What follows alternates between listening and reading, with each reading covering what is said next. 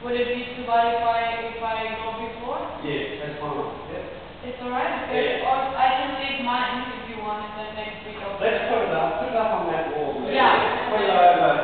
Put it over here so.